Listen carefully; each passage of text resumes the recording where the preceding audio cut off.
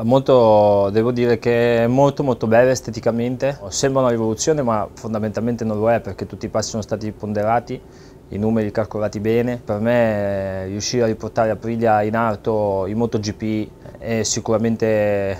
il sogno nel cassetto ad oggi.